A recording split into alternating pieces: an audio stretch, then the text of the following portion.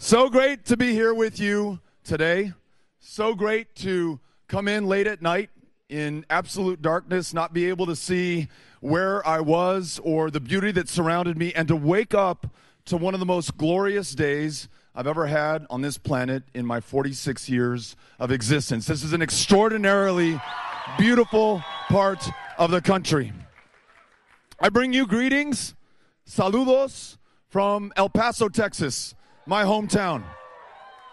Especially to the three people who speak Spanish in the back. Gracias. I live in, Amy and I are raising our kids in one half of the largest binational community in the Western Hemisphere.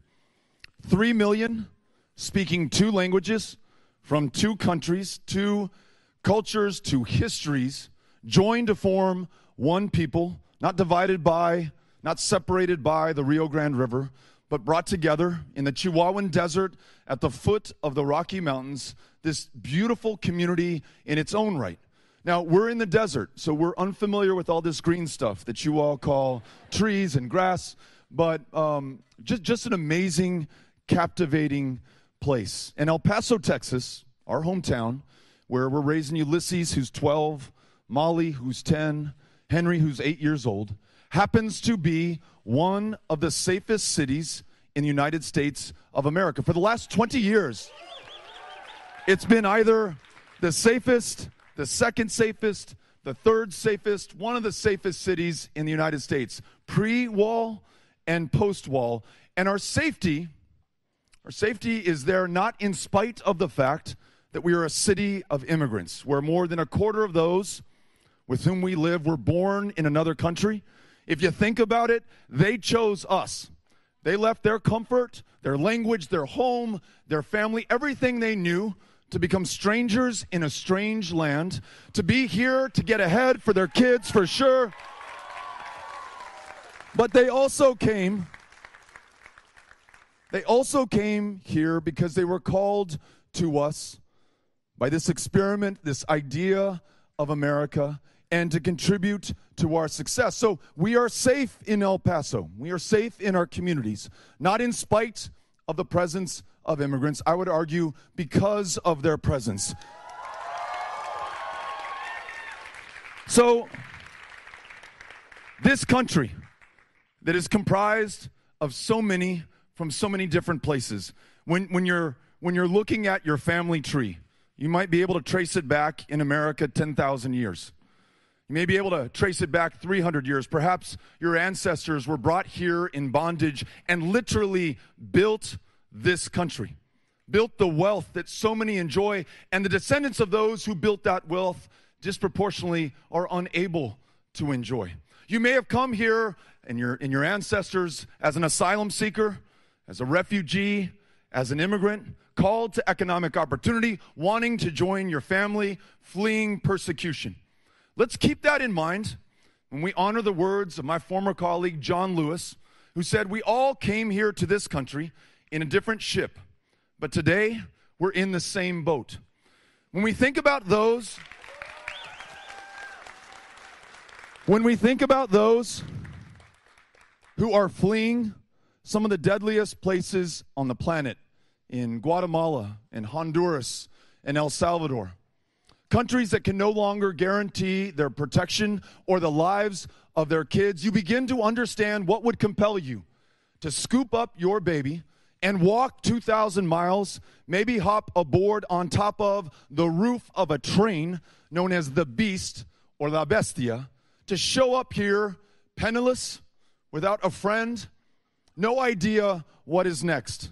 And then imagine at that most desperate and vulnerable moment, the United States government, which, if we are still a democracy and the government is the people and the people are the government, that is all of us, we take that child for whom you risked your very life from your arms.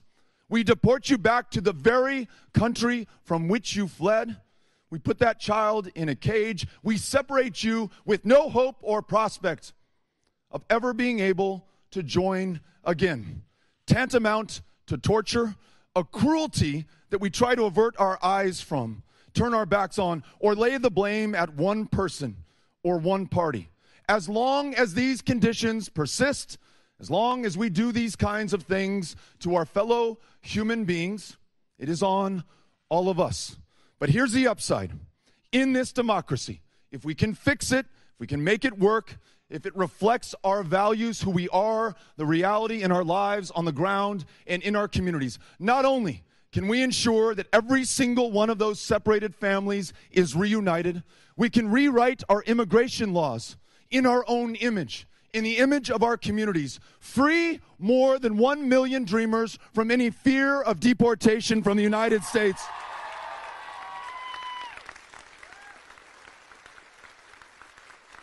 Allow people to come out of the shadows, get right with the law, and contribute to their maximum potential, not just for the betterment of their lives and the lives of their families, but to the betterment of this country.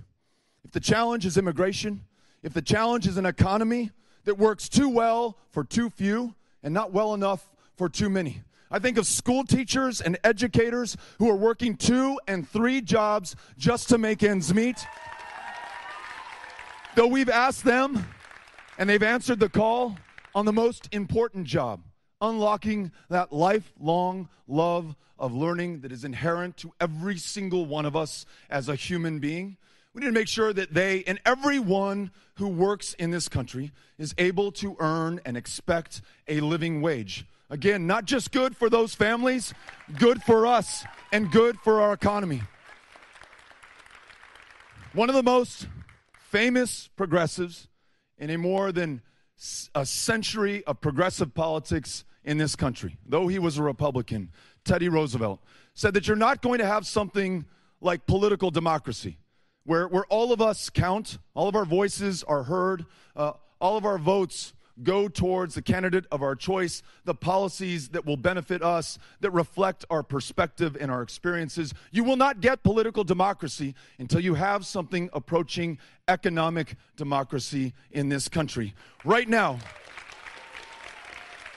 not too, not too unlike TR's time, you have an extraordinary concentration of wealth and power and privilege. One of the most recent and damning expressions of this is that we have fellow Americans who have an extra three or four million dollars, which they can use to game the college admissions process, to ask kids to take tests for their kids, to bribe coaches to uh, falsify um, their athletic performance. And there are families of kids who can't put together three or four hundred dollars to be able to go to this university as a down payment on the tuition, which I understand annually after financial aid has kicked in is around $29,000 per student. When we do not allow access to opportunity, again, not only is that bad for the families who cannot avail themselves of these opportunities, it's a drag on our entire economy. It's not allowing America to realize its full potential. When you have millions of Americans who cannot see a doctor, cannot afford their prescriptions, even when they have insurance and the copay has kicked in, who cannot take their child to a therapist so that she's well enough to learn that next day of first grade. Not only have we failed one another, not only is that unconscionable, it's the most expensive way that we have devised to fail one another, to fail to recognize the potential of all of us. When that young man that I met in Laredo, Texas, who said, Beto, when you're talking about guaranteed, high quality, universal health care, resonates with me because I've seen a doctor once in my life. And that doctor told me, not only do I have diabetes, not only do I have glaucoma, neither of which I can afford to treat, by the way, but if this current trajectory persists, I will be dead before I'm the age of 40. Now, just think about that. In the year 2019, in the wealthiest, the most powerful, the most medically and technologically advanced country that humankind has ever known, we're going to allow this guy to die of diabetes. We're going to allow our fellow Americans to die of the flu. They're going to die of curable cancers. And not only will that weigh on our conscience? But it's going to be extraordinarily expensive. As that young man gets closer to year 40, to his death, he will be going to the emergency room. He will be asking for our help. The cost to care for him will be astronomical, and he will be in no way prepared to bear that cost. But you will, through your premiums that will continue to climb, you will, through the taxes that you pay, and we all will, in the lost productivity, those things that he will not be alive to do, that job that he works, the taxes that he pays, that poem that he writes, that punk rock band that he starts and tours the country in. Whether it is measured economically, artistically, aesthetically, or in the family that he might be able to raise if he was just alive in order to do it, we all lose out when we fail to make these investments. And when I think about the most existential challenge of them all, the fact that the conclusion is clear, there's no longer the shadow of a doubt that this climate is warming, that it is produced by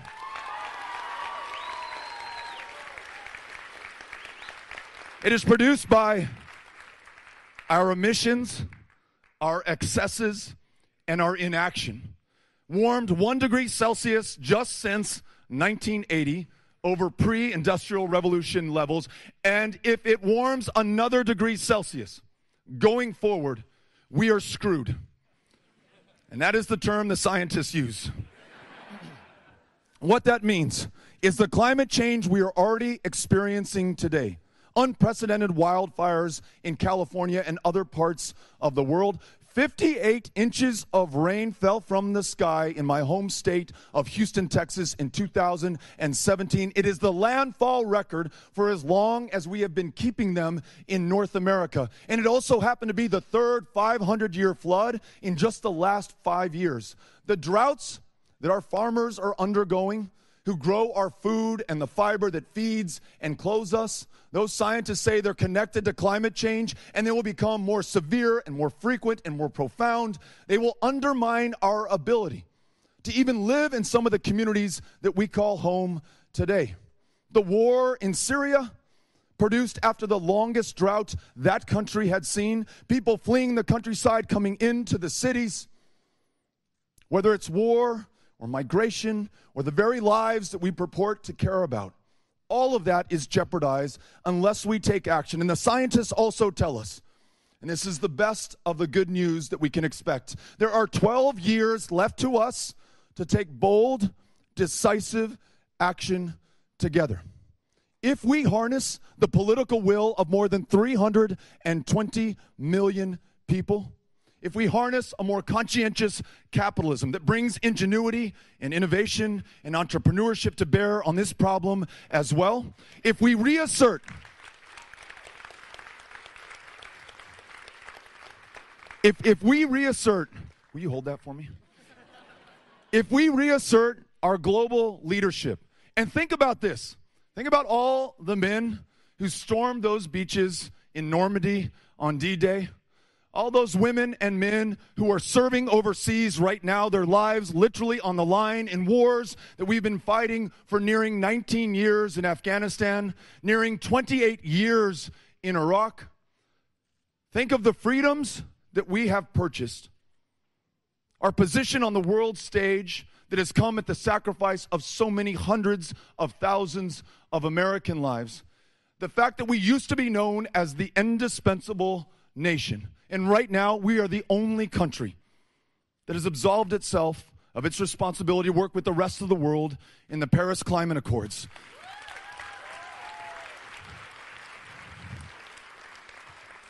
Though this administration and this president has dug us an awful hole, it also presents perhaps our greatest moment of opportunity and promise to reassert global leadership because even if we all band together in the face of this threat and this challenge, it will not be enough. It's going to take the world. And there is one country whose people can help to establish that leadership. It will have to be by example and by service and sacrifice in this country to begin with.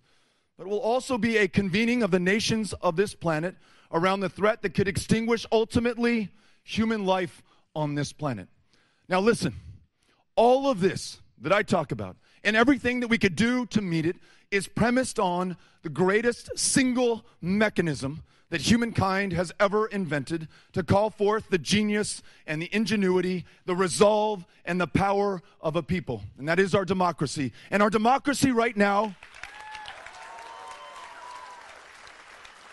our democracy right now is as broken as it has been in our lifetimes. It is captured, it is corrupted, it is being attacked from without, it is being attacked from within. We have to make sure that corporations who've been equated with people, money, which is equal to speech and Citizens United, that allows corporations to spend unlimited amounts of money in our elections and their ability to purchase legislation and the policies that follow, that allows that allows the opioid epidemic that we see raging across this country. We are 4% of the globe's population. We are 85% of the globe's consumption of opioids. That didn't just happen. We didn't just choose that. Corporations, big pharma, corporations like Purdue, which marketed opioids to prescribers and doctors as non addictive miracle painkillers most of those who are getting arrested for purchasing fentanyl and heroin on the streets started with a legal prescription of an opioid, even though those executives in those companies knew the addictive properties of what they were selling. And yet, none of them have done any time behind bars. None of them. None of them have truly accounted for the veteran that I met at a town hall meeting like this in El Paso who stood up and said that when he came back from war with PTSD, perhaps with traumatic brain injury, and was prescribed legally an opioid by his doctor in the VA, and when that prescription was cut off, and he had no alternative therapy and he was hooked. He was now buying heroin on the street and he admitted it in front of every single one in that room, his fellow citizens. He was desperate and he needed help. He is not a criminal. He should not go to jail. We should treat him with compassion and care, get him back on his feet.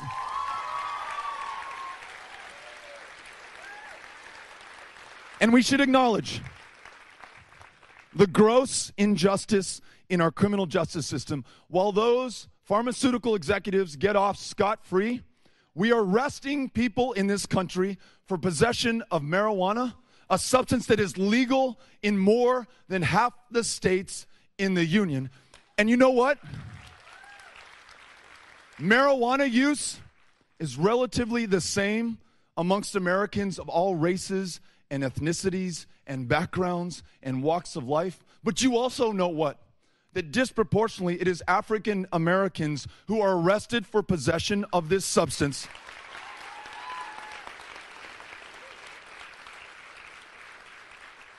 who will do time behind bars, who upon release will be forced to check a box on any employment application form that says that they have a conviction making it less likely that they get the job, who will be unable to attend Penn State because by law they no longer qualify for federally backed student loans or scholarships or grants.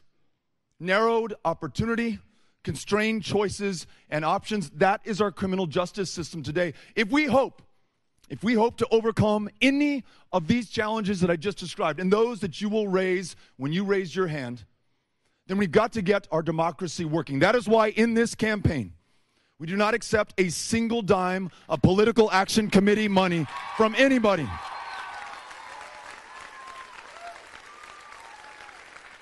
No contributions from lobbyists. And we campaign everywhere. Everyone is important. Wherever you are, whoever you voted for last time for president, as I shared with my friends in the other room, no me importa. I do not care. All that matters now is that we are Americans, we are human beings, and we have the opportunity to meet the greatest challenge of this country's history. That's why I'm running to represent you, to serve you, to work with you as the next president of the United States of America.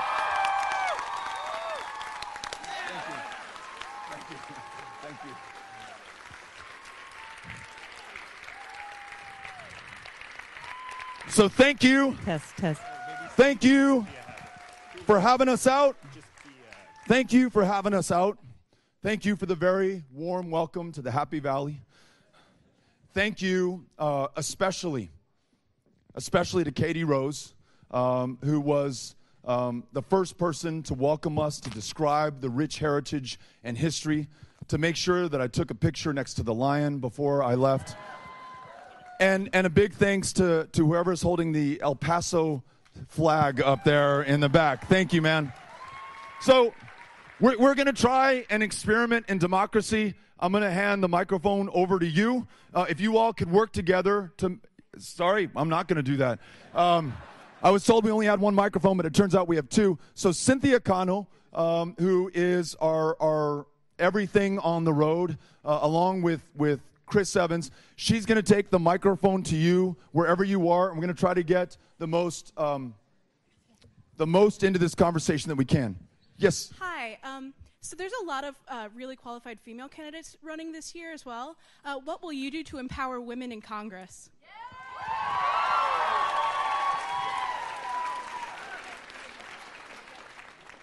Hundred percent agreed.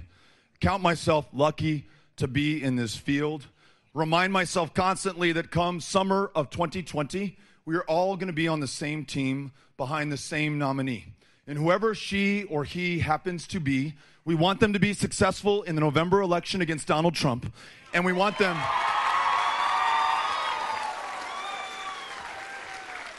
And we want them to be even more successful as the next president of the United States of America. So this campaign cannot be about tearing people down denigrating our opponents, vilifying other people within our democracy. It's got to be about lifting people up, expecting the best out of them, and making sure that at the end of the day, we're all on the same team. So, you asked about my campaign specifically.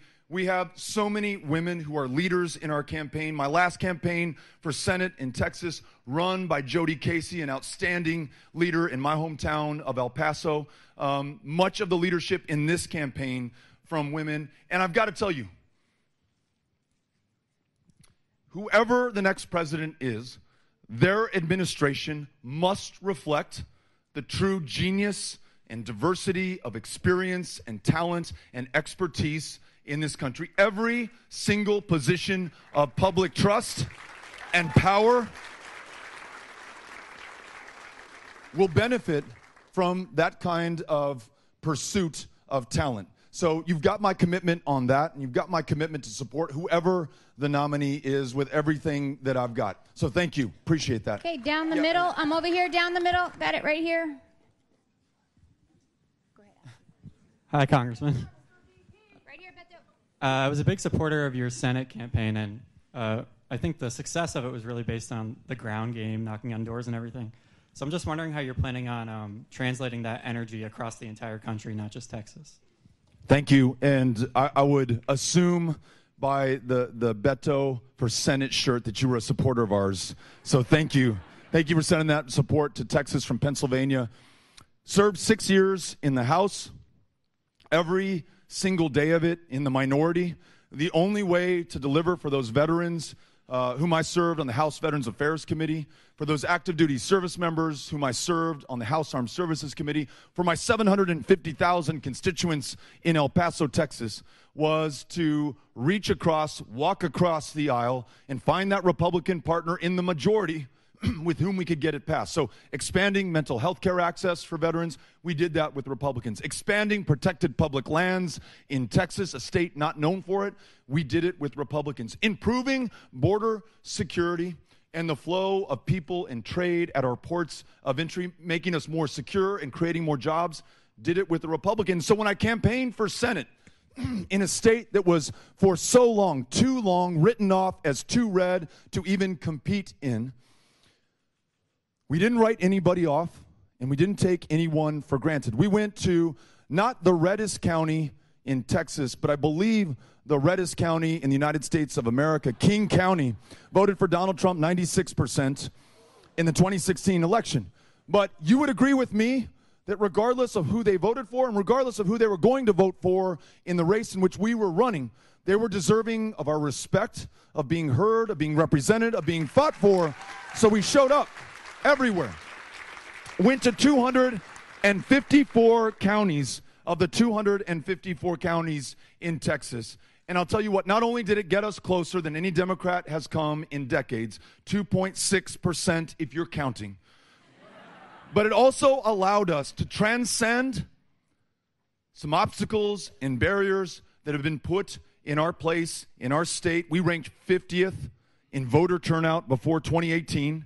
We don't love our democracy any less than you do in Pennsylvania, but we were drawn that way. Some people, by the very fact of their race or their country of national origin, were drawn out of congressional districts. They call it packing and cracking. Therefore, drawn out of a reason to vote because some people's votes really did in Texas count for more than others. And I would say effectively drawn out of their democracy.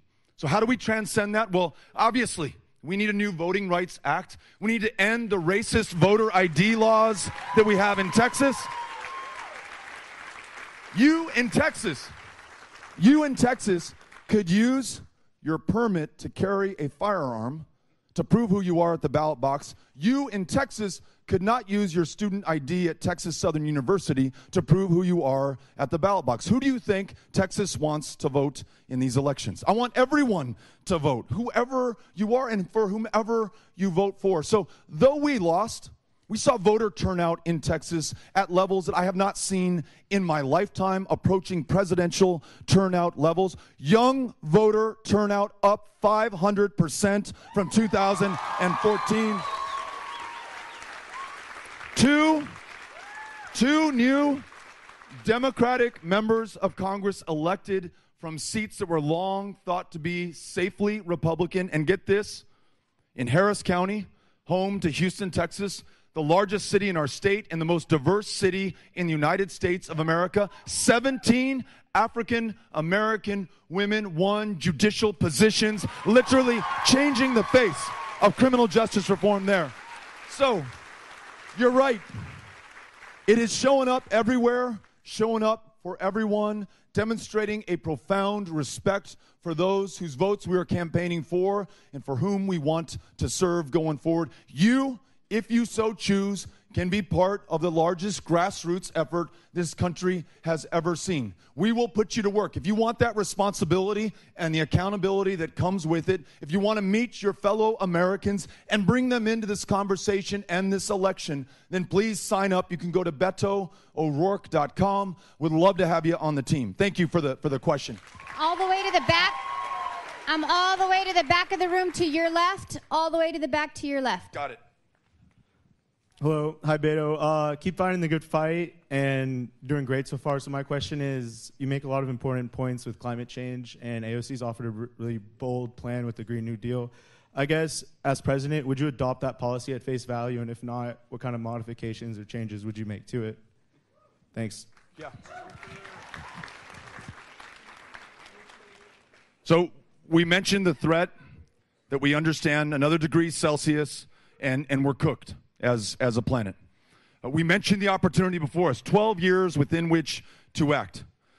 We fear the judgment of our kids and grandkids come year 2050 on planet Earth, who will look back on us with extraordinary pride or will be wondering who were those pendejos back in 2019 and 2020 who squandered the best opportunity for planet Earth and humankind.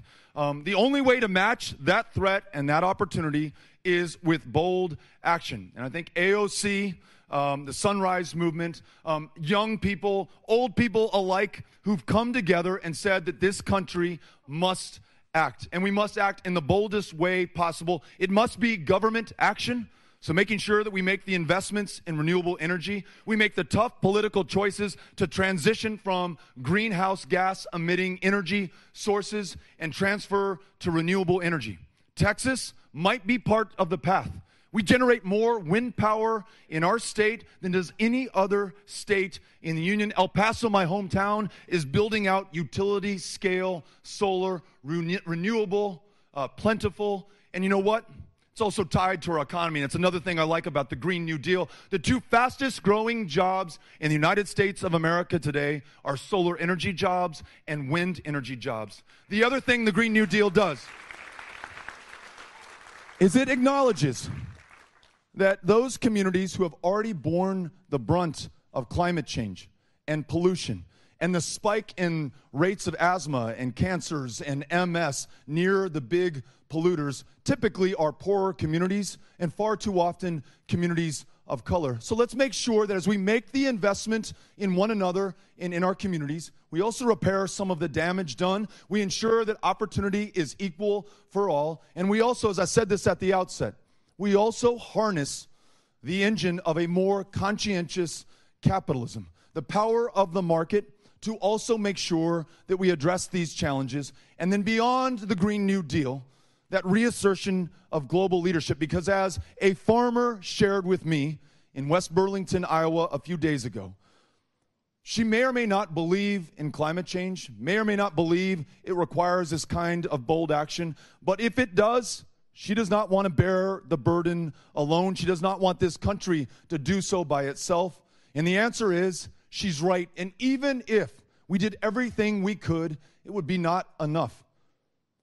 China has four times the number of coal fired plants than does the United States.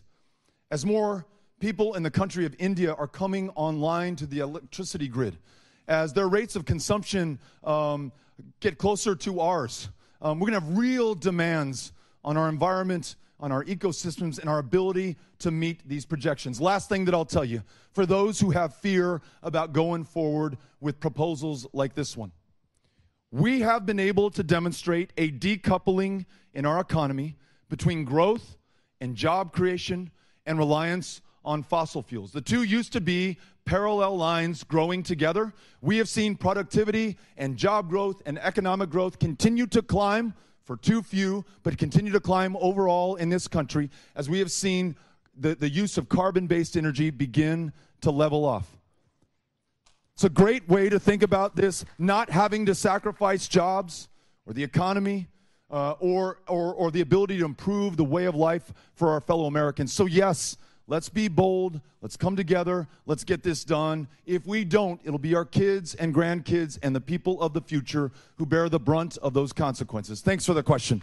All right, back. we're all the way to your left, to your left, all the way to your left. Here. That left. In the wake of the media frenzy after Khashoggi's death and the lack of morals involved in the Saudi involvement in the Yemen civil war, causing arguably the greatest humanitarian crisis of our time, what is your plan for relations with the Saudis moving forward?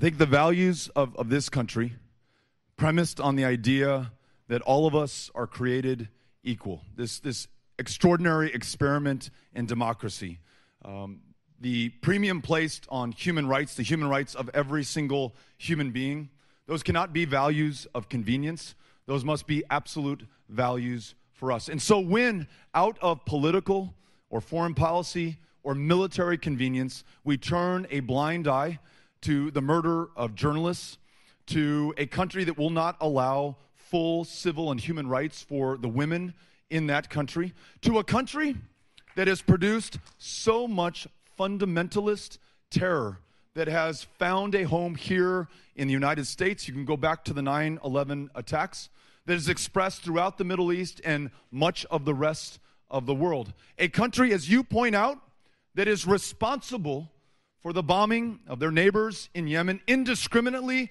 hospitals and school children, millions of our fellow human beings on the brink of starvation in one of the most water scarce countries on the planet. And to the spirit of your question, we are in part culpable. We are co combatants at some level in that war. The military aid that we provide to Saudi Arabia, the weapon systems that we sell that may benefit our defense contractors but do not benefit the lives that are taken in Yemen.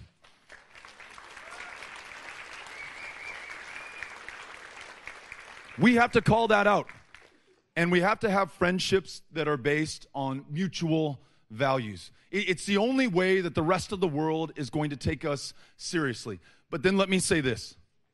So, agree with you about Saudi Arabia, but, but also, if we begin to talk about other countries in other parts of the world and we don't acknowledge what we are doing here in the United States, a prison system that is the largest on the planet, disproportionately comprised of people of color, if we don't face the truth of slavery and segregation and suppression of our fellow Americans, if we don't acknowledge that there is 10 times the wealth in white America than there is in black America today, or if you are a five year old student in a kindergarten classroom and you happen to be a student of color, you are four to five times more likely to be suspended and expelled. That we have a schoolhouse to jailhouse pipeline that begins not in high school, but begins in kindergarten in this country. We will not have the moral authority to talk to Saudi Arabia or anyone else until we get things right in our own house. So let's make sure that we focus here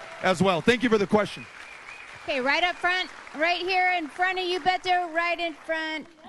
To your left, kind of, a little bit. There you go. ¿Qué tal, Beto?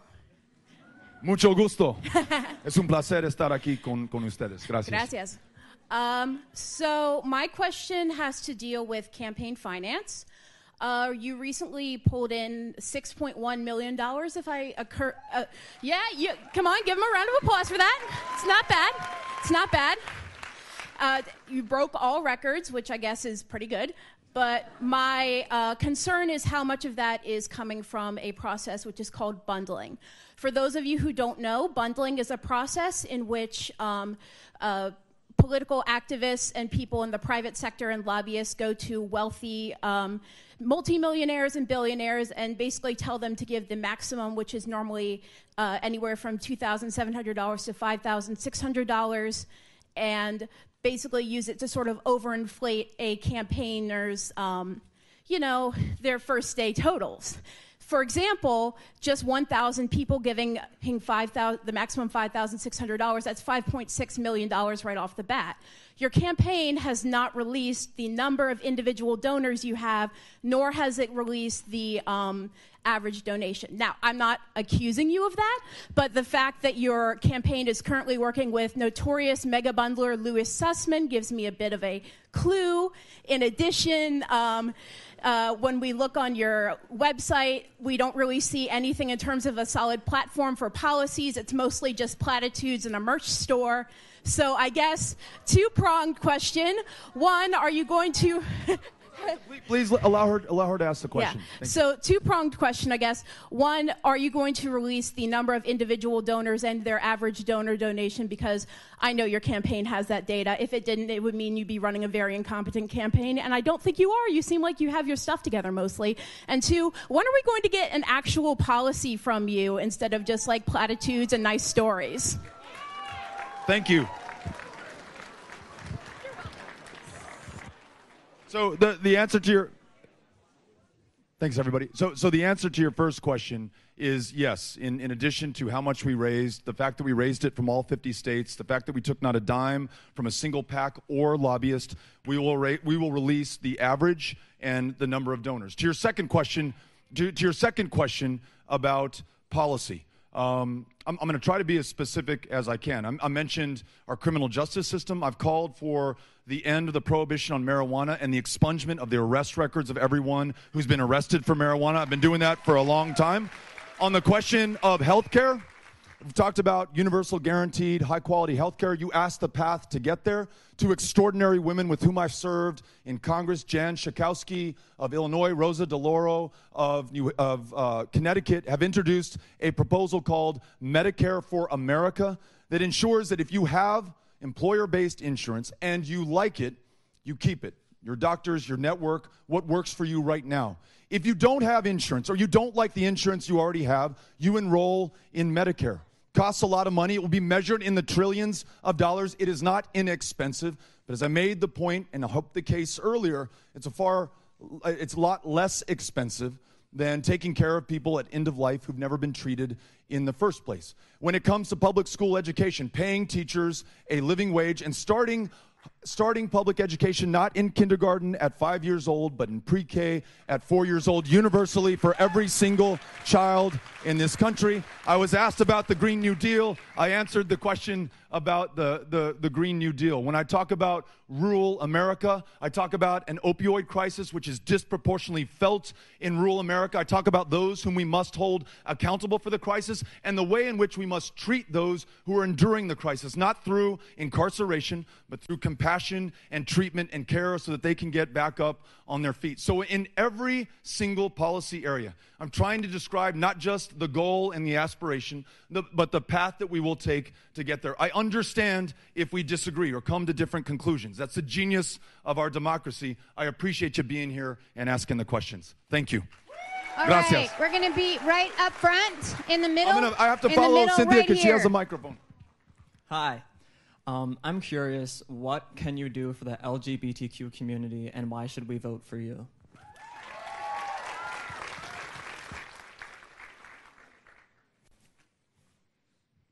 As president, I would sign the Equality Act, which guarantees the full civil rights of every single American, regardless of their sexual orientation.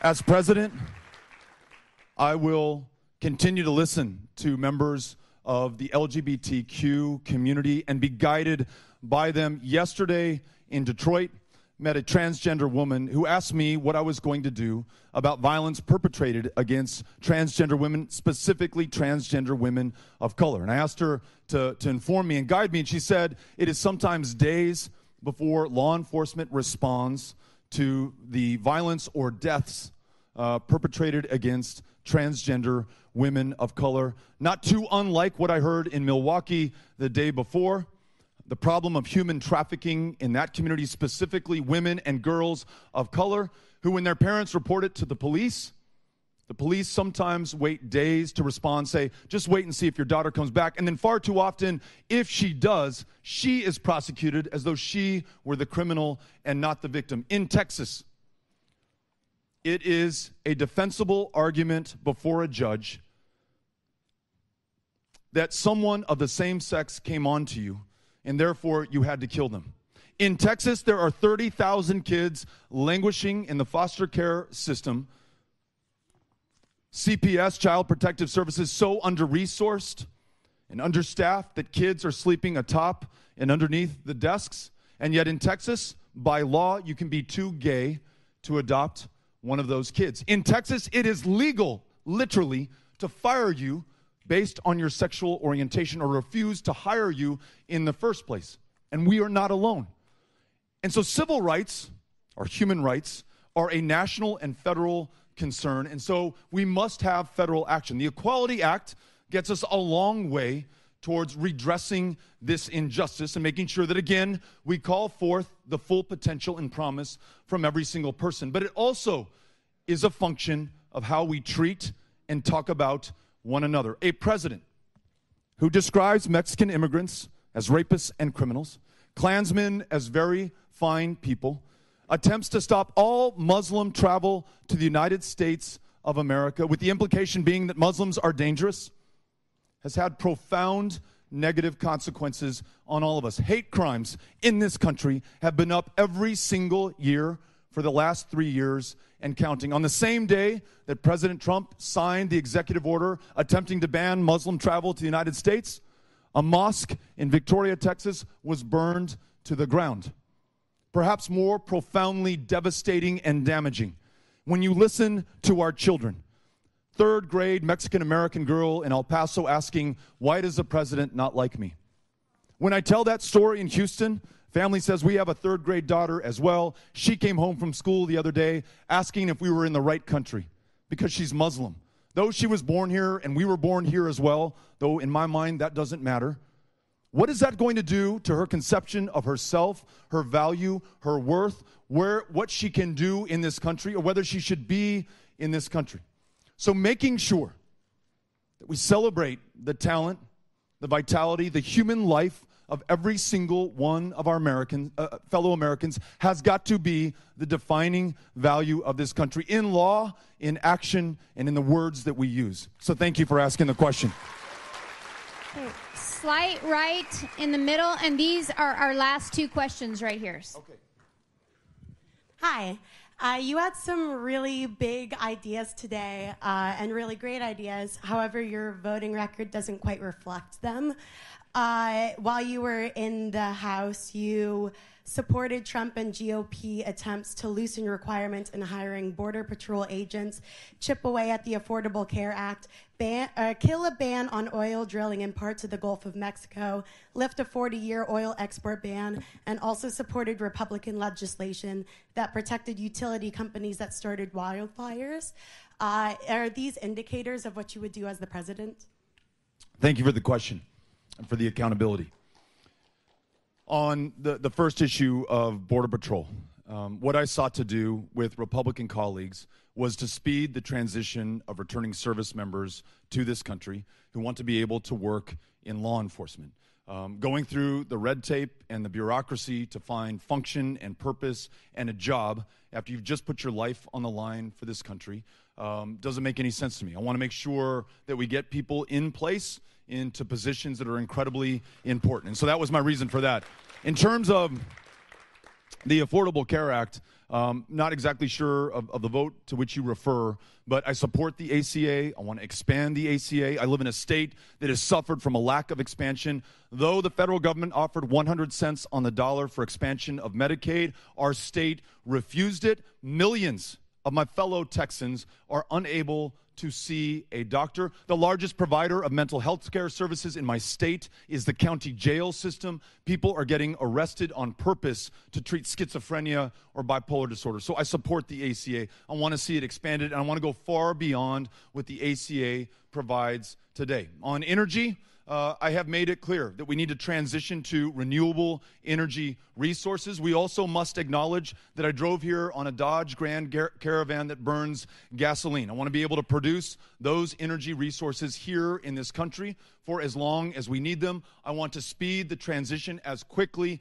as we possibly can.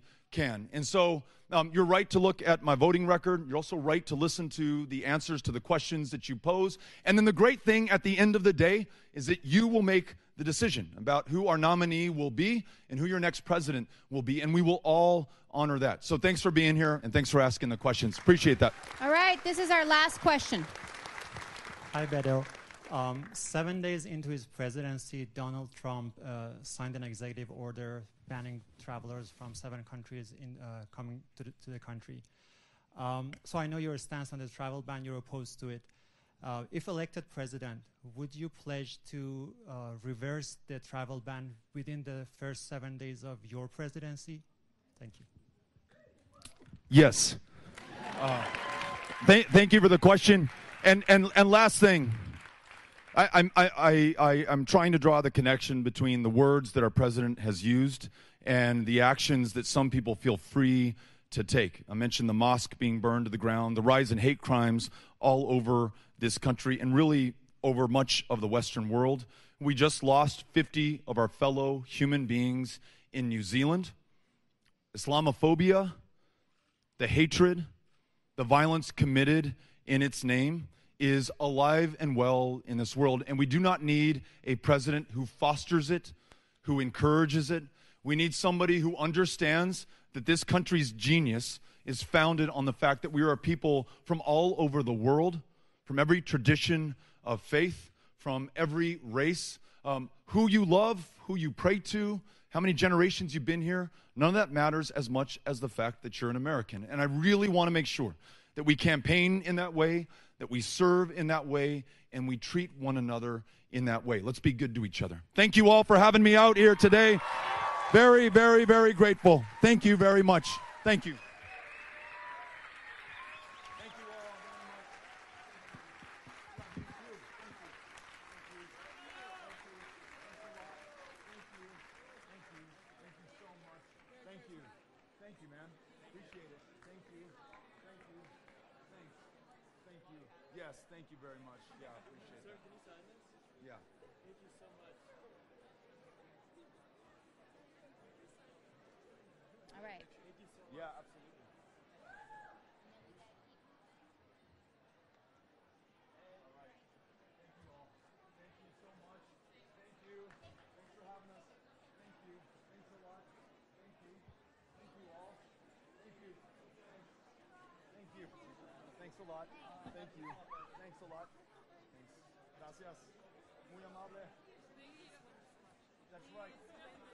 All got to do it,